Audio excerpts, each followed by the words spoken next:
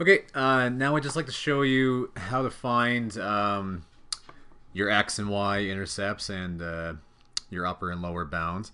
Um, but instead of using the trace function I did in the other video, I'm going to show you just a, a different method. So, um, yeah, so the way you do that, I'm going to keep the same one I did in the other video, so the same function there. Um, but let's say I want to find the x-intercepts again. I'll just find just one of them this time. What The other thing you can do is go Menu, and last time I went Trace, and we kind of traced the graph that way, but this time I'm going to go to 6, go to Analyze Graph, and it gives you some options here. You can find the 0, which is the x-intercept, right, um, is the 0. Um, you can find the minimums, that'd be uh, uh, where it curves down, the maximum where it curves up intersection, and we won't really do these other ones. This is a derivative if you go in the calculus. Um, integral, let's find the area under the graph, and yeah, bounded areas. If you have two graphs, it's the area that they kind of intersect, and yeah, we're not going to do conic sections.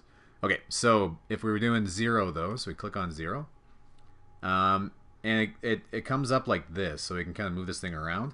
And then it says lower bound. So lower bound, you're going to go to the left of it, right? Because the graph is kind of below the graph uh, to the left of it.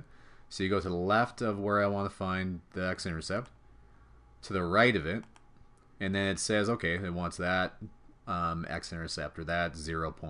And it tells you that when x is zero right there, y is equal to, or sorry, when y is equal to zero, I should say, um, x is equal to negative 0.826.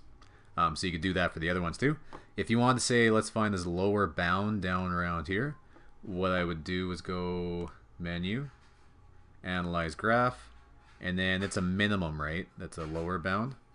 So I'm going to go minimum.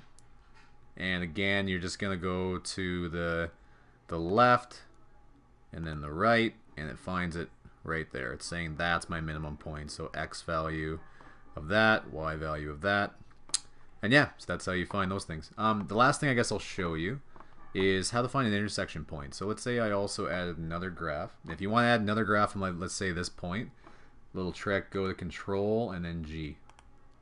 And that'll bring me back to this thing. If I push up, you can see my old, my last one. If I push down, gives me F2. I can put in a, a different function here. Um, so, so let's just make um, F2 equal to, let's say, just X. Oh, click on it better. X. All right, so if we do that, now we have two different graphs on on this one uh, graph. Um, uh, let's say I wanted to know where they cross, so that point right there. Um, we're going to be able to do the same thing, but we just need to choose the intersection point now. So we'll go Menu, Analyze Graph, and then down to number 4, Intersection. And we're going to do the same thing. You just go to the left of where you think they intersect, to the right of where you think they intersect, and it's showing you, okay, they intersect at right at this point. So, yeah, that's kind of neat. They ended up being exactly the same. Cool. Uh, uh, that makes sense, I guess. Um, okay, so uh, that was just a, a, little lesson on how to use the analyze graph function. So I'm going to end that there. and I'll see you guys in class.